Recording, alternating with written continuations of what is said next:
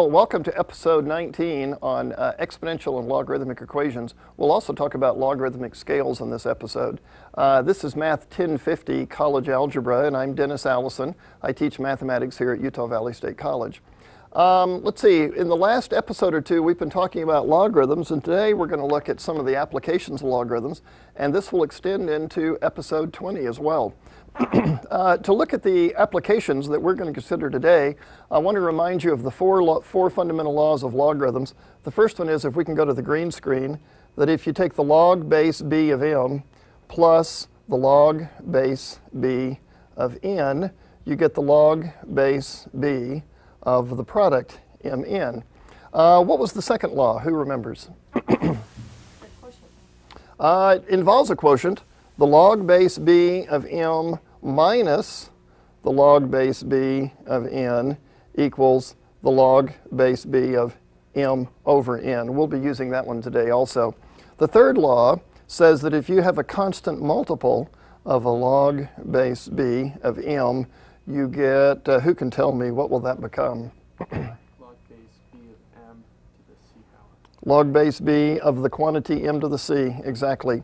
Uh, I'll put that in parentheses just to set it off.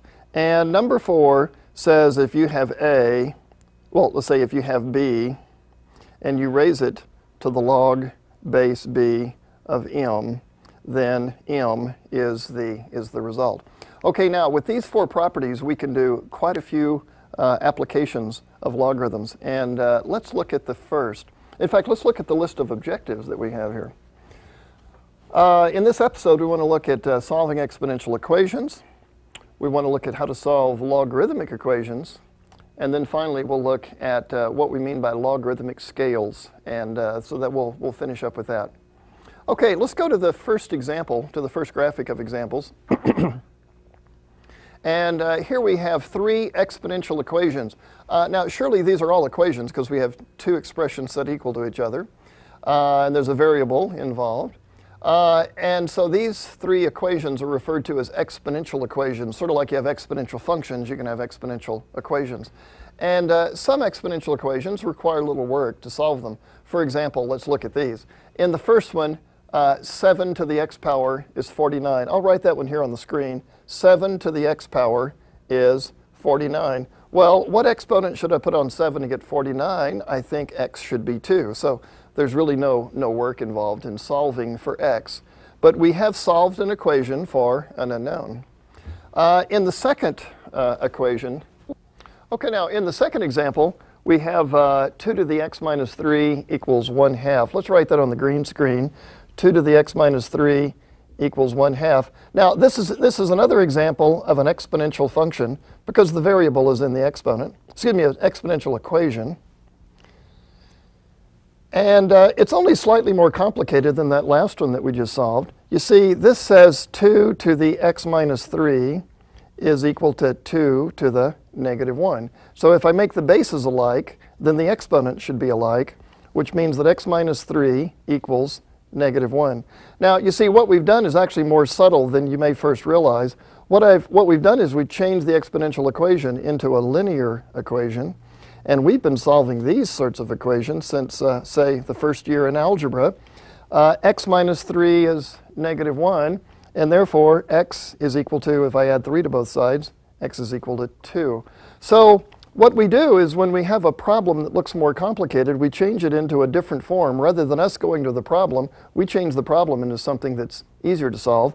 And in this case, the linear equation is very quick. If I just check that answer right below it, if I substitute in a 2 up here for x, we have uh, 2 to the 2 minus 3 power is 2 to the negative 1 power, and that's equal to 1 half. So that, that does check.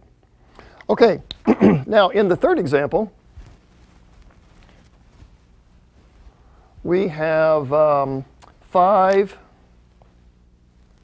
to the 2 plus 3x equals 5. Okay, now if I divide both sides by 5, but excuse me, yeah, if I divide, no, I, I wrote that wrong, didn't I? 5 times e to the 2 plus 3x.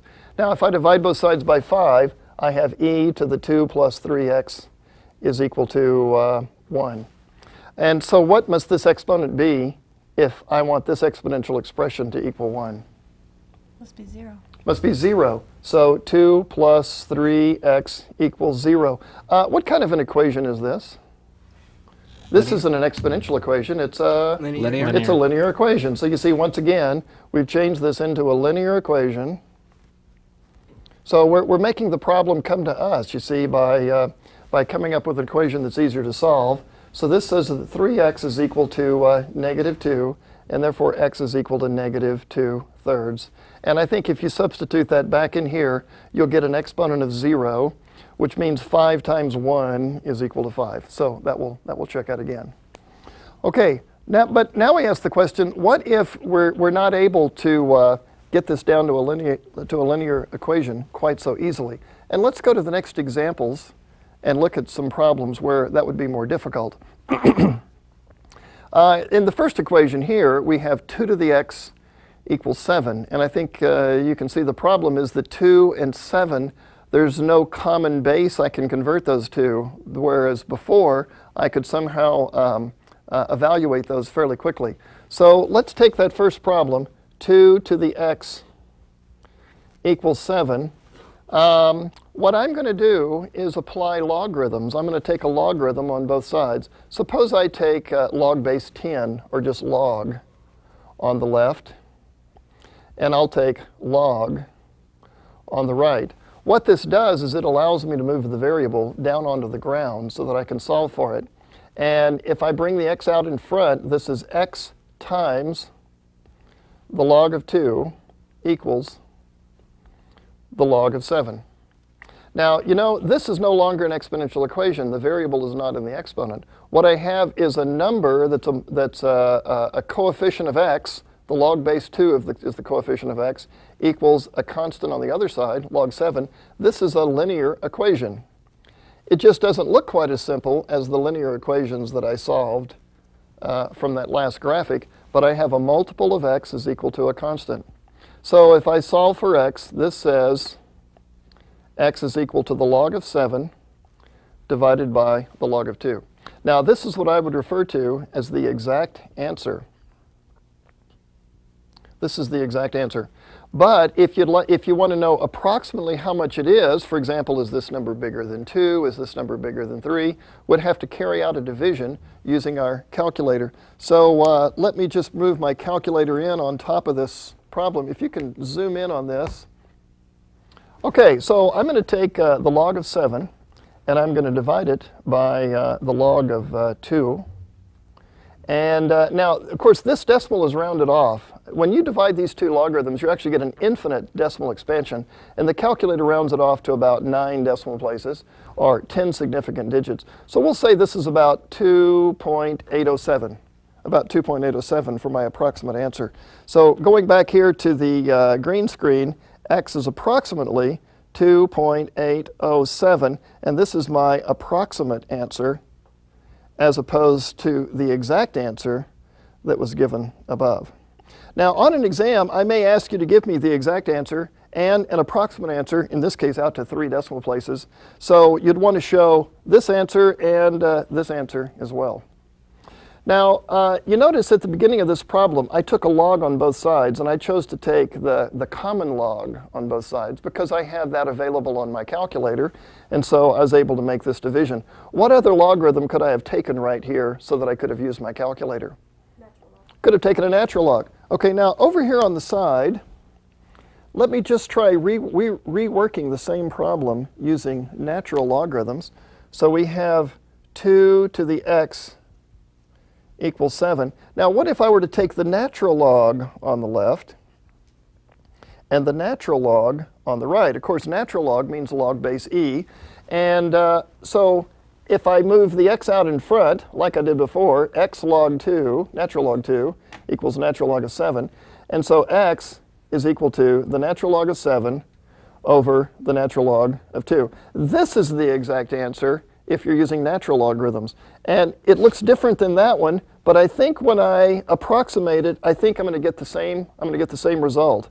So to figure out what is the approximate answer, let's go back to our calculator.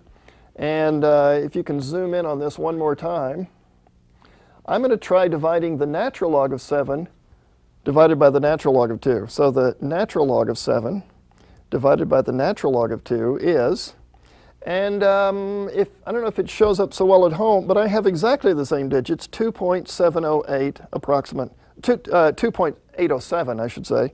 And so we do end up with the same approximate answer, uh, 2.807.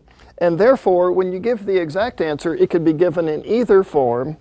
But and when you give the approximate answer, depending on how many decimal places you want to give, uh, these answers look the same down here. Okay, let's go to the next uh, the, the next exponential equation, where we'll have to use logarithms to solve it. This one says 15 to the 2 plus x power equals 1 third to the x power. Okay, let's solve that one right here. 15 to the 2 plus x power equals 1 third raised to the x. Now, you see, we, we don't have a common base that I can express both of these in, and so I'm going to need to use logarithms for this. Uh, so I'm going to try taking uh, the common log on both sides. Log of 15 to the 2 plus x power, and on the other side, the log of uh, 1 third raised to the x. Now, if I move my exponents out in front, 2 plus x times log 15 equals x log 1 third. Uh, now, it, it's kind of hard to get used to this, but you see log 15 is a constant. Just like 2 is a constant, the log of 15 is a constant. It's just we don't see exactly its decimal representation. The variable is x. And on the other side, log of 1 third is a constant, and the variable is an x. Now, what I want to do is to solve for x in this linear equation. And the way I solve for x is I need to multiply this out and get all my x's on one side. So I'm going to call this 2 times the log of 15 plus x log 15 equals, uh, now what can I do with uh, the log of 1 third? What's another way of expressing the log of 1 third? Log of 3 to the negative 1. the log of 3 to the negative 1. Okay, let's think, think of this as 3 to the negative 1. And if I bring my exponent out in front, that would be minus x log 3. So what we're doing is we're, we're changing 1 third to 3 to the negative 1. The exponent comes out in front, and when I put it in front, I'll just put it in front of the x and make it minus x log 3. Okay, so I have x's in this expression, x log 15, and I have x's in my expression on the right. I want to get these together. So let's get them both on the left-hand side. x log 15 plus x log 3. And the one that has no x's in it, I want to put on the other side. So I'll subtract 2 log 15. So I get negative 2 log 15. Okay, so all my x's are on one side. I'm going to factor out the x. And I have log 15 plus log 3 in parentheses, all multiplied by x, equals negative 2 log 15. okay, so I have a multiple of x equals a constant on the other side. So to solve for x, just like I would in any linear equation, I divide by the coefficient of x.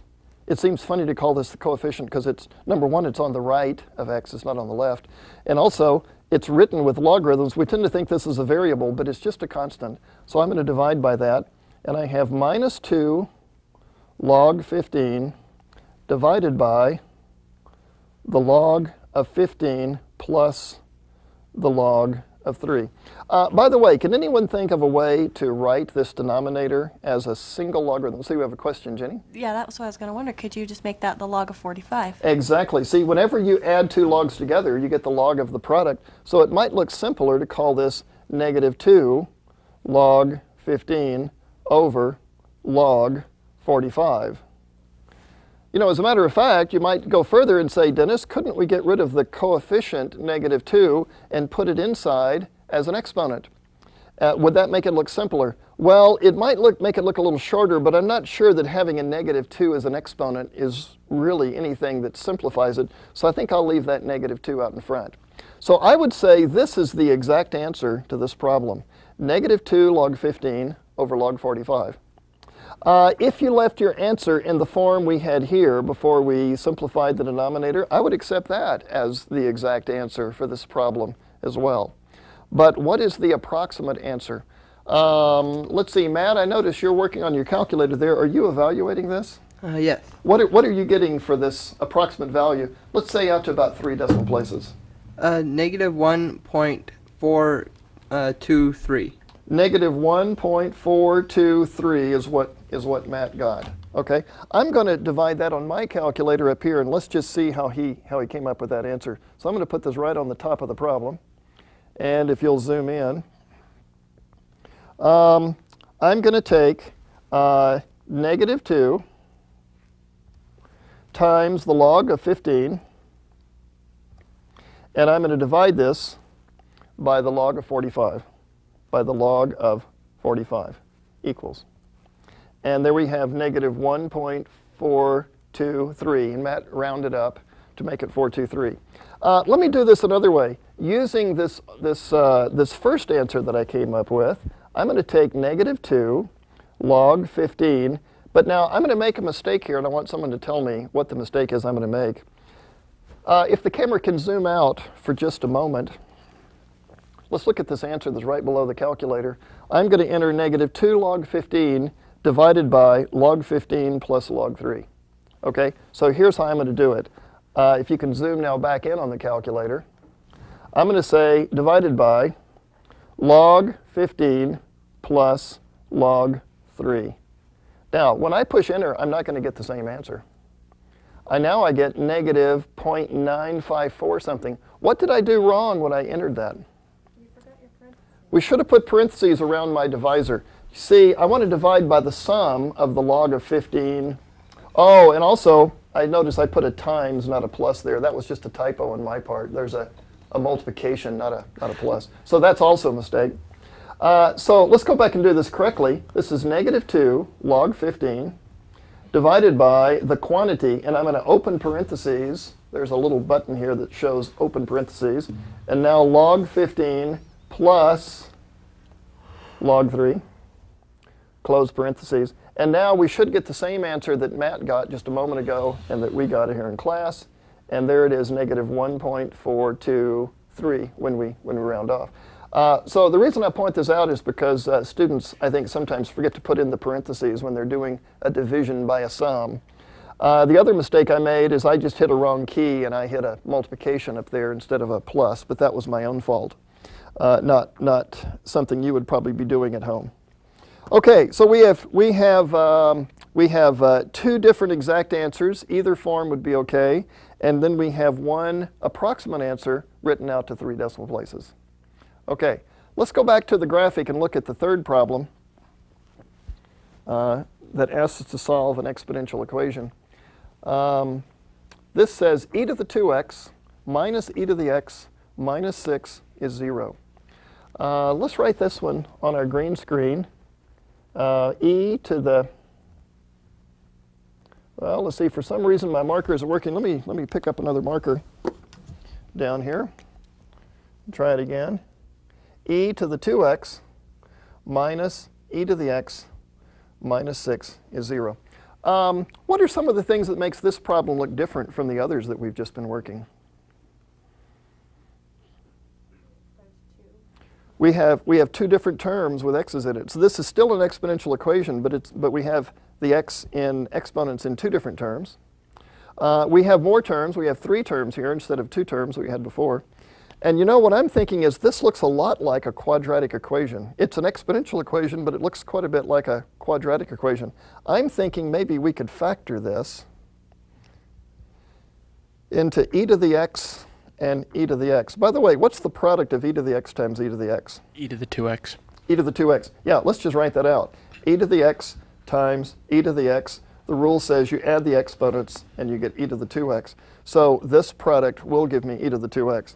Now, if I factor this like a quadratic expression, this is in what's called a quadratic form, uh, I think I should put uh, a negative 3 here and a plus 2 over there. let's check this and see. This product is uh, 2 e to the x. This product is negative 3 e to the x. So when I combine them, I get negative e to the x. And by the way, the last product will give me negative 6. So I think we have been able to factor this, something we didn't see come up in any of the previous problems. And this product is 0. So either e to the x plus 2 is 0, or e to the x minus 3 is 0. now in this first case, this says that e to the x is negative 2. This is impossible. Because if you look at the graph of e to the x, if you graph the function f of x equals e to the x, let me just remind you what it looks like. Here's the x-axis. Um, my graph is a little small. I hope you can see this at home. If I graph e to the x, you remember the target points were, first of all, to go up one. And if I go to the right one, I should go up e, which is about 2.7. And if I go to the left one, I should go up 1 over e. And to make a long story short, the graph is going to look like this. Now my question is, when does the graph equal negative 2? Here's negative 2 down here. When does that graph come down to negative 2? It never does. So there's no solution. An exponential expression has to give me a positive answer. It can't even give me 0 for the answer. So it's got to give me a positive answer, certainly not negative 2. So my conclusion from all this is there's no solution to this portion of the equation. But the other side says e to the x could equal 3. So I'm looking for an exponent that I can put on base e to give me 3. Uh, I don't see any way to make these two bases look just alike, not any obvious way right now. So I'm going to take a logarithm on both sides, and I want to be able to use my calculator. So what, which logarithm do you suspect we should use here? Natural log. Natural log, because there's a base e involved in the exponential equation. So I'm going to take the natural log of e to the x, and I'm going to take the natural log of 3.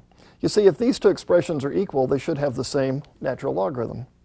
And so this says x natural log of e is the natural log of 3. And what is the natural log of e? 1. Is 1. So this is just x. So we get x equals ln of 3. This is my only exact answer. This is the only exact answer we get because we didn't get any answer over here on the other side. And if I approximate it, let's say we approximate it to three decimal places. I'm going to put my calculator in here if you can zoom in on this. And we want to approximate the natural log of 3, so we'll just enter natural log of 3. And we get about 1.098. Now, if I round that off, we'll call it 1.099. So that's my approximate answer. we'll call that 1.099 right there. So back to the green board, 1.099 is the approximate answer given to three decimal places. Okay, so once again, we have an exact answer and we have an approximate answer. The, the exact answer, because there's nothing better than the exact answer, but when we ask, how big is that number? For example, is that more than one? Is it more than one and a fourth? Is it more than one and a half? It's hard to say until we approximate it. So both answers are important that we be able to uh, calculate.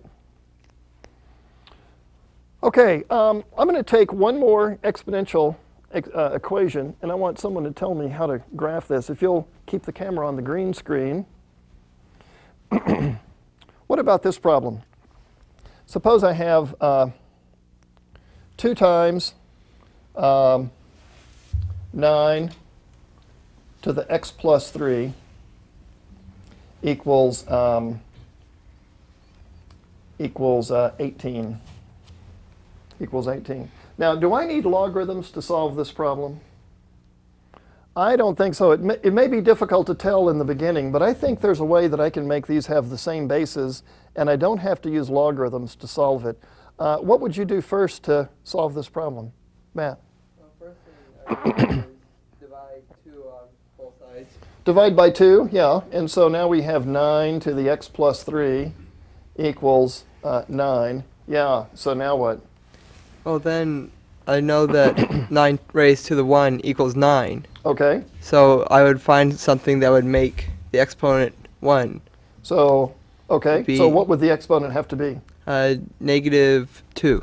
Okay, actually, Matt's a little bit ahead of us. Oh, if there's a be first power over here, x plus 3 is going to be 1. Yeah, so now here's our linear equation. Here's our linear equation. And then when I solve for x, x is negative 2. You were exactly right. Okay, so in this case, I don't have to use logarithms. But if I erase this and change one number, what if I, um, what if I change this number not, from, uh, not to 18, but to 20? Now here's a problem where I have to use logarithms to solve it. So you see it's very easy to go from the rather relatively simple problems to the ones that are a bit more complex. In this case, would still divide by 2. 9 to the x plus 3 power is equal to 10. But the problem is I no longer have a common base between these two. So at this point we have to shift gears, go to logarithms, and uh, just to be different, what if I take a natural log on both sides? Even though there's a 10 in the problem, let's take a natural log. Uh, natural log of 9 to the x plus 3 equals the natural log of 10. I'll bring the x plus 3 out in front times the natural log of 9 equals the natural log of 10. Then I'll multiply this out so that I get x times the natural log of 9 plus 3 times the natural log of 9 equals the natural log of 10. And there's only one term with an x in it, so I want to isolate that. So what I'll do is subtract 3 natural log of 9 from both sides. And I have x natural log 9 equals the natural log of 10 minus 3 uh, natural log of uh, 9. Therefore, x is equal to, now this is, this is the exact answer, so I can still put an equal sign, the natural log of 10 minus 3 times the natural log, whoops, natural log of 9 over the natural log of 9. This is a perfectly good answer, but although it is possible to maybe change this a bit, make it look a little bit more compact. Jenny? Why is it on your third step, why couldn't you divide, when you have x plus 3 in parentheses and then you have the natural log, I think you had of 9? Uh-huh. Why can't you just divide from there that natural I- log of Actually, 9? you could. That would be an alternative. Uh, what Jenny's suggesting is we could have isolated the x uh, perhaps faster if rather than multiplying this out, if we had just divided by the natural log of 9. Call this ln of 10 over ln of 9 equals x plus 3. I, th- I think that probably would have been a little quicker. And that would be equivalent to this. You see, what you would get is if you divide this out, you'd have the natural log of 10 over the natural log of 9 minus 3. And uh, that's, that's the answer that you would have arrived at up there. I think Jenny's exactly right. That would have been a little bit shorter. Uh, to get the approximate answer, I don't think I'll do this in the interest of time, but what you'd want to do is think of parentheses around all this. When you enter this in your calculator, open parentheses, natural log 10 minus 3 natural log 9, close parentheses, and then divide by the natural log of 9. Okay, that, that would give you your approximation. Okay, well, uh, I think we've covered fairly thoroughly now exponential equations. Let's look at logarithmic equations. And uh, we have another graphic now with several problems of a different variety than what we've just seen.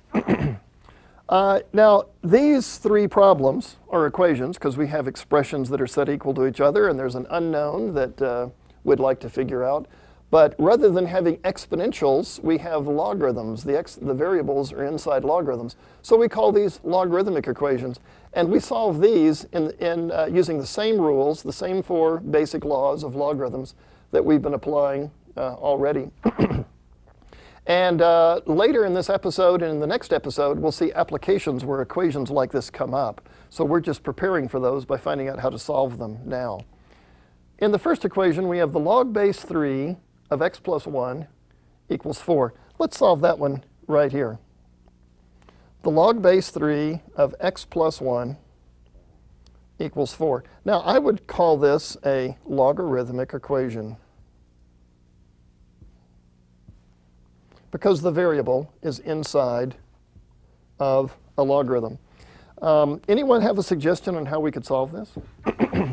Form an exponential equation from this. Yeah, change this to exponential form because we're, we're used to looking at exponential statements much more than we are looking at logarithmic statements. Um, let's see, Matt, what would be the exponential version of this? Uh, 3 raised to the 4 equals x plus 1. x plus 1, yes, because all of that is inside the logarithm. This is sometimes referred to as the argument. So x plus 1 is the argument, so x plus 1 is equal to the exponential quantity. So this says that 81 is equal to x plus 1. By the way, what sort of equations are we solving here? Linear.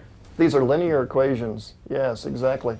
So once again, we've made the problem come to us by changing it to a form that we like better. Linear equation and linear equation. Now, it's fairly simple to get out of this. x is just equal to 80. So uh, that's our solution. And by the way, this is the exact solution, and there's no, no approximation, of course, involved in this. Um, so that's the only answer we'd have to give.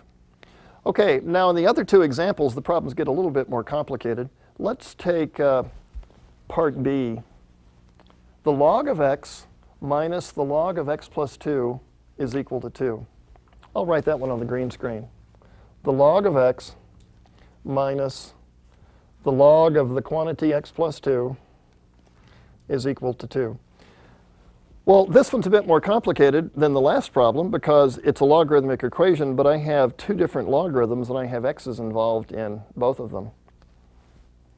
How could I somehow get a single logarithmic, logarithmic expression here? Uh, David, what would you do? How could you get a single logarithm there? Um, can we pull the, the log x out anyway? Uh, well, we can't factor the log out, but we do have a difference of logs. Now, one of our properties tells us a way to reduce that. Uh, Jeff, what are you thinking of?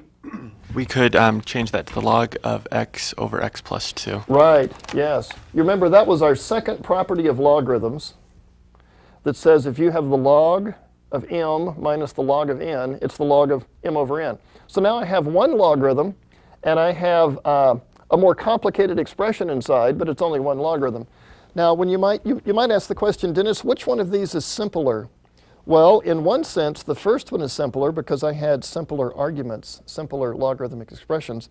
This one's simpler because there's only one logarithm. So it's sort of in the eyes of the beholder which one is simpler. But for our purposes, I think we like this one better because the next thing I'm going to do is change this to exponential form. Um, let's see, Jenny, what is the exponential version of this logarithmic equation? It would be 10 raised to the 2 Uh-huh. is equal to x over x plus 2. equals x over x plus 2. Okay, now this is no longer a logarithmic equation because we have no logarithms. If anything, we'd call this a rational equation because I have a ratio of polynomials. I have a rational expression. So this is a rational equation. We haven't seen one of those in this episode. Whereas up above, I had a logarithmic equation there and there. So once again, I've changed it to a form that I find easier to solve. You might say, gee, is that easier to solve? Yes, I think it is, because look, this is 100 is equal to x over x plus 2. And how do you go about solving equations like this back in, uh, say, intermediate algebra? What, what do you do? Times both sides by x plus 2. Yeah, I'm going to multiply both sides by x plus 2. So this is 100 times x plus 2 and I'll multiply on the right by x plus 2, and of course they cancel there, so I have x. Now, what kind of an equation is this? This isn't a rational equation. This is a, Linear. this is a linear equation. So the, the, the problem just keeps changing. This is a linear equation now, but this is the one that we'll actually choose to solve. So um, we had a logarithmic equation, a rational equation, a linear equation, and now I think we're ready to, uh, to resolve all this. We have 100x plus 200 is equal to x. So that says that 99x is equal to negative 200. and that says that x, I'll put it over here on the side, x must be negative 200 over 99. This is my exact answer. Now, if on your calculator you were to divide this out, this would be an infinite uh, repeating decimal. And your calculator wouldn't be able to, to display an infinite decimal because it's not infinitely wide. Uh, so this is the exact answer. You wouldn't want to give this as an, an approximate form unless I ask you to give it as, as an approximate.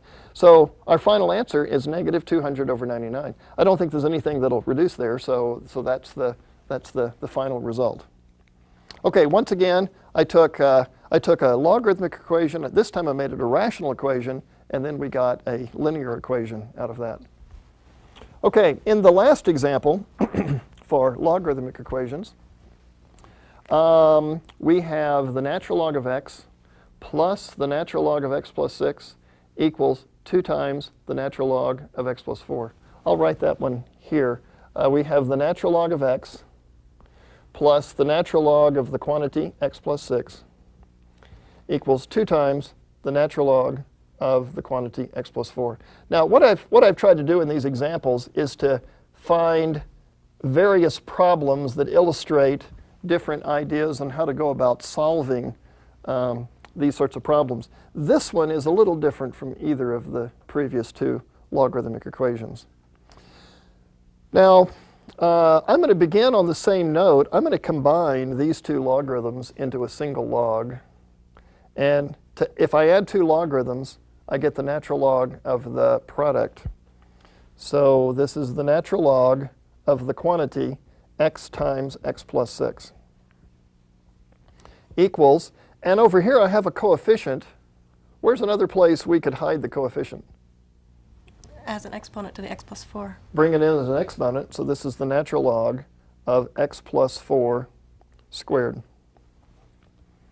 Okay, now what makes this problem different is this time I'm going to say, well, I've got the natural log of this number equals the natural log of this number.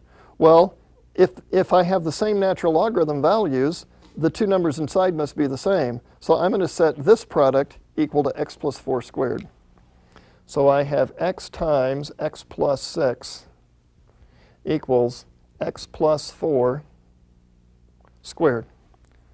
So I'm thinking if the two natural logs are the same, then the two arguments must have been the same from the beginning. So this time I just eliminate the natural logs. of course, when I multiply out the left-hand side, I'm going to get an x squared. And when I square the right-hand side, I'm going to get an x squared. So it looks like this should be a quadratic equation.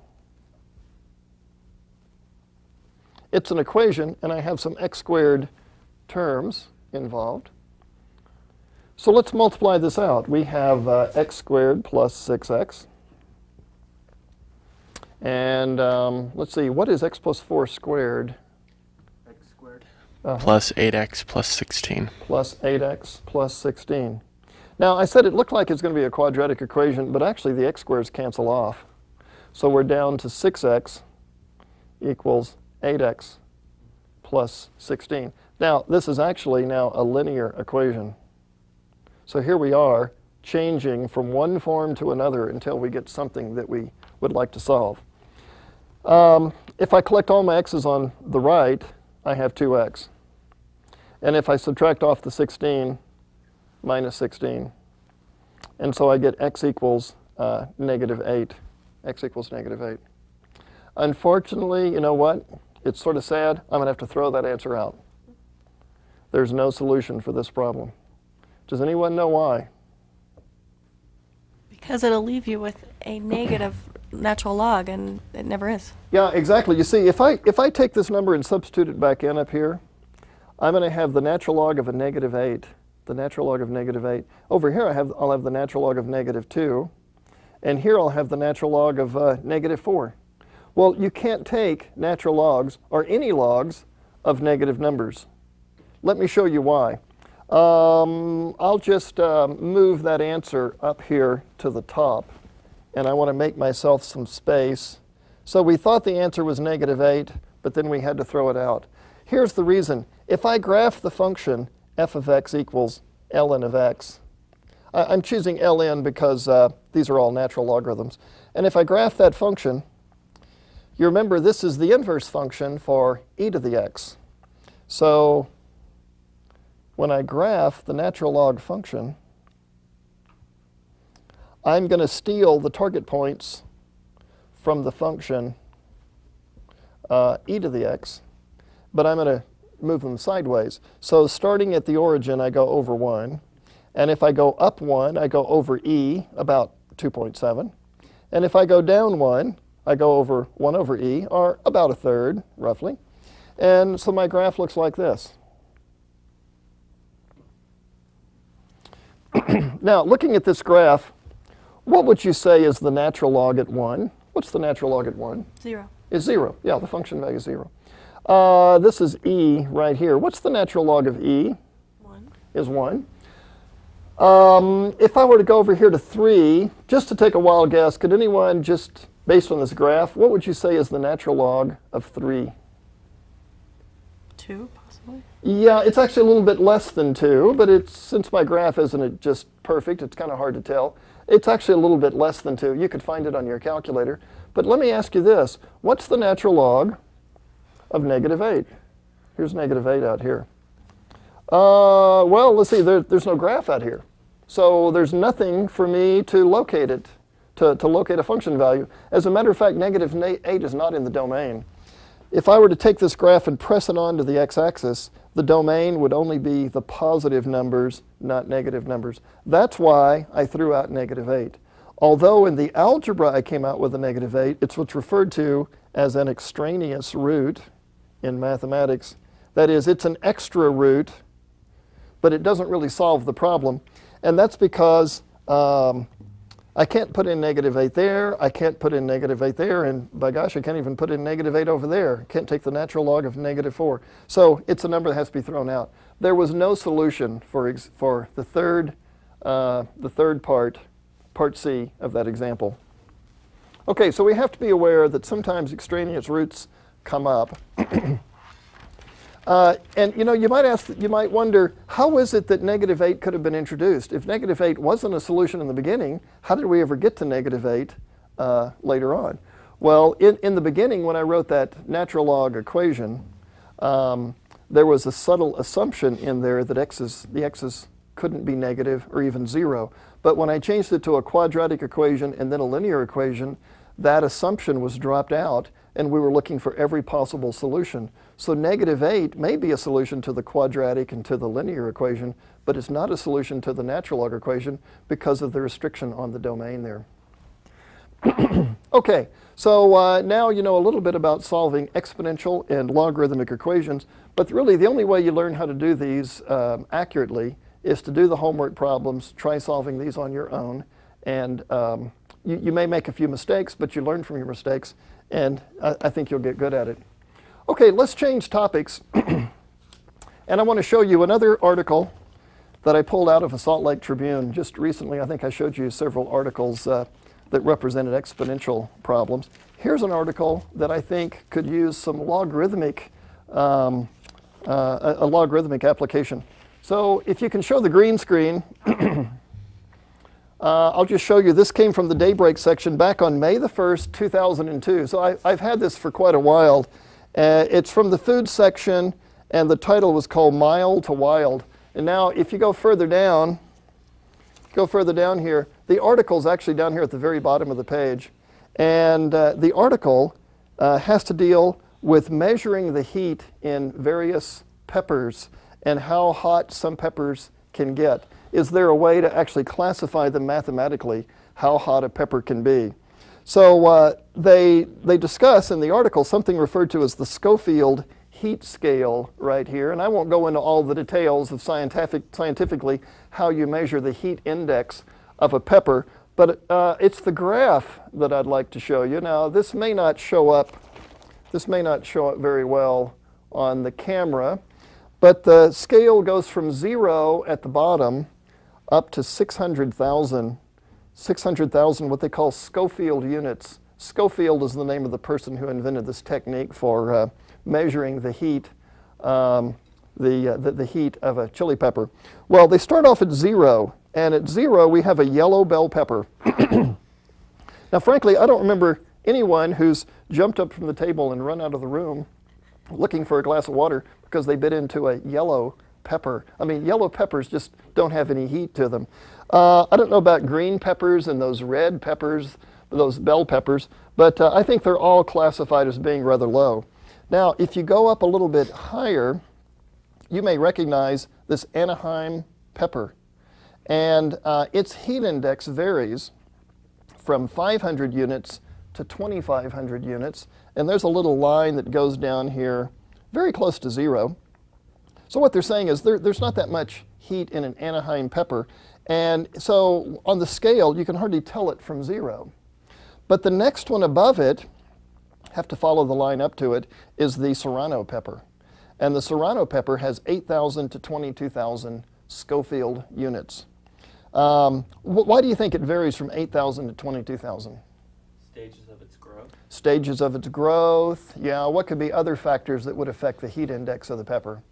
Personal taste?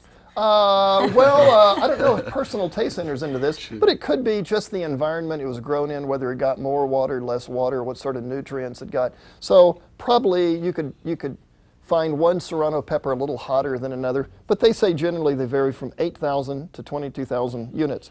So if we put that on the graph, look, it's way down here near the bottom too, because that first marker is at 50,000 units.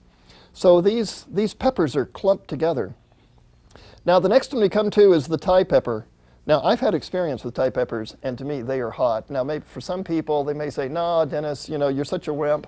But uh, I find Thai peppers to be really hot, and Thai peppers vary from five, uh, from 50,000 to 100,000 Scoville units. And uh, here on the scale, well, they have it marked off at 100,000 at 100,000. But look, the scale goes on up to 600,000. That's because we haven't gotten to the really biggie here, the red Savina uh, haba- habanero pepper. And its Scoville unit measure is 350,000 to 577,000. Okay, uh, Stephen, Ste- oh, yeah, there, so you can see that. Uh, Stephen's nodding his head, yes, he's bit into those. Uh, Stephen, how did you find them? Tasty or? Well, it stays in your mouth for about three hours afterwards, and For- it's very hot. And, and you're probably still flush in the face the next morning when you get up from that from that pepper. I don't think I've ever had one of those. But uh, here's the here's the here's the problem that I pose to you. When I draw these on the scale, or when the newspaper drew them on the scale, this one is way up above all the others, and we have three of them clumped together near the bottom. So what would be another way that I could represent this so that they weren't so spread out? So let me suggest an alternative way of representing them. So if you take a look at this graphic that I've prepared, um, I have just picked a number in the range for each pepper. For the Anaheim pepper, I said about 2,000. For the Serrano pepper, about 15,000. Uh, you get serrano peppers in Mexican food quite a bit. Uh, Thai peppers, of course, in Thai food, you might bite into a Thai pepper, and for me, it was an experience I haven't forgotten. My eyes watered, everything. But then here's the red Sa- Savina habanero pepper, and I called it 400,000. The range was a little bit broader than that, obviously. But uh, here's how the newspaper has shown these. The Anaheim pepper was at 2,000. So I've marked off a horizontal scale 0, 100,000, 200,000, 300,000, on up. And so the Anaheim pepper is going to be right here. I'll just put N-A-N for Anaheim. By the way, there was the yellow bell pepper right at zero. It would be right on, right on top of that. Then there's the, the Serrano pepper at 15,000, okay? If that's 100,000, 50,000, 15,000 would be right about here. I'll put SER for the Serrano pepper. And then there's the Thai pepper at 75,000. Well, 75,000 is right about here. And there's the Thai pepper. And then there's the red Savina habanero pepper at 400,000. Now you see, it's, it's, it's distorted way up above. I'll just say red there for that. So these things are not clustered together at all. So here's, a, here's an alternative. Suppose I were to label my scale 0, 1, 2, 3. I'll try to write it a little bigger so you can see it there. 4, 5, 6. And what I'm going to do is take the logarithm of each of these values up here.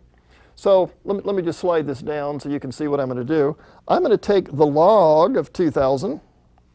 I'm going to take the log of 15,000. And I'm going to take the log of 70, of, whoops, the log, leave that out, of 75,000. And maybe you could help me out here. Um, those uh, students in the classroom, what is the log of 2,000? 3.30? 3.30 approximately. Now, how would you have known that was going to be a little bit larger than 3? three zeros in the number. Three zeros in the number. You see, the log of 1,000 is 3, so the log of 2,000 should be a little bit more than that. Now, for the log of 15,000, this should be also be 3 point something.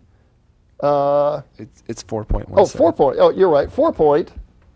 4 point what? One seven. 4.17. And the reason it's a little bit bigger than 4 is because the log of 10,000 is 4, and this is a little bit more than 10,000. Uh, the log of 75,000, well, this is, this is not up to 100,000 yet, so it's not 5. It's going to be 4 point, Eight seven five. 4.875. Okay, and now let's go to the red, uh, red Savina habanero. The log of 400,000. Let's see, that's 1, 2, 3, 4, 5. The log of 10,000 of 100,000 is 5. So this is 5 point what? Six oh two. 5.602. Now, on this scale, I'm going to locate them by their logarithms. And so the Anaheim would be at 3.3. Okay, here's Anaheim. The Serrano pepper is 4.17. So that would be right about here, the Serrano pepper. The Thai pepper is about 4.875. That would be right about here. There's the Thai pepper. And the red Savina habanero is 5.6. 5.6 is right about here. Now, my point is this look at the difference. These peppers are now rather equally spaced and they're drawn together. Up above, they were spread way out. And sometimes when you have data that is, that is widely dispersed, in order to look at it more conveniently, you take logarithms, and this is referred to as a logarithmic scale, and now you can see them closer together. But these spaces, although they appear to be about even, represent ever increasing spaces back on the real scale. See, we had a small change, a bigger change, and then we have a huge change. Here, they're all about the same. Okay, now let me show you how um, this is applied in science. Can we go to the next graphic? Okay, here are three examples of how logarithmic scales are used in science. First of all, in chemistry, when you measure the pH of a solution, uh, the pH is calculated by taking the negative log of the hydrogen ion concentration. That's, that's abbreviated by a square brackets H plus. Now, I'm not a chemist and I won't try to explain how you measure the hydrogen ion concentration, but that H plus uh, tells you generally uh, how many free hydrogen ions are floating around in the solution per mole. And if this number turns out to be less than 7, it's said to be acidic. And if this number is greater than 7, it's said to be a base. Now, uh, the, the hydrogen ion concentration can actually go from a number extremely small, like 0.000, let's say about nine zeros and then a 1, to something rather large, like 0.01, relatively speaking. Well, those numbers are so uh, diverse that what you do is you take the logarithm of those and then you put a negative on there to make it positive. Let me just give you an example. Suppose the hydrogen ion concentration um, H plus could vary between, um, um, let's say, 10 to the negative 9 up to 10 to the negative 2. I'm not sure that those are actually accurate numbers, but it's something like that. You see, this is 0.000000001. I've got nine decimal places there. Uh, the hydrogen ion concentration, let's say, is generally bigger than that, but less than or equal to, what is this number as a decimal? 0.01. Point zero, point zero one. Yeah, exactly. Well, you see, those numbers are so long that it's actually nicer to take the logarithm of 10 to the negative 9 and the logarithm of 10 to the negative 2. And then inside here, we have the logarithm of the hydrogen ion concentration. But what is the log base 10 of 10 to the negative 9? Negative nine. Negative 9, yeah. Remember, what's the exponent you put on base 10 to get 10 to the negative 9 is negative 9. And um, what is the logarithm, base 10, of 10 to the negative 2? Negative 2. So this logarithm would vary from negative 9 to negative 2. Now, what they, what they do in chemistry to make these numbers positive is they just multiply through by a negative.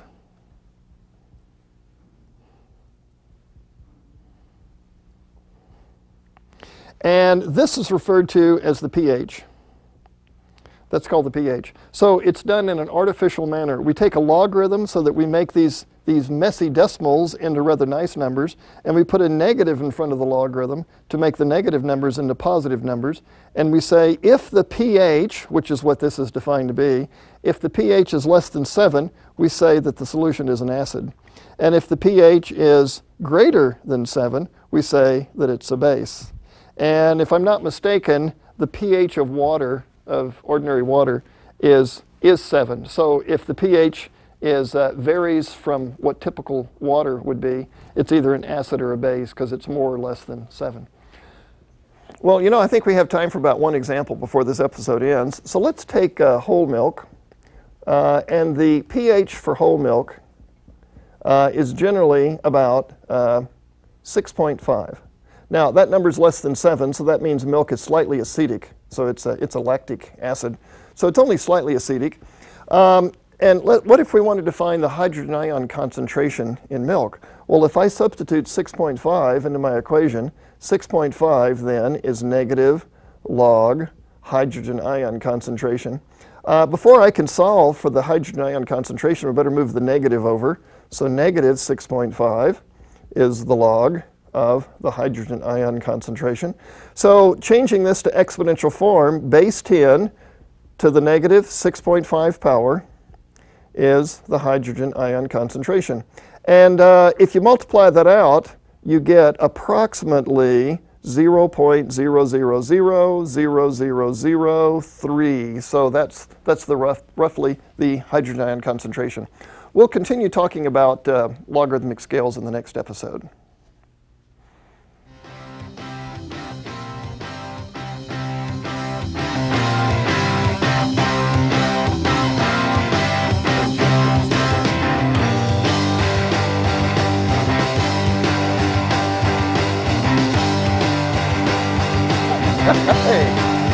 We got it right.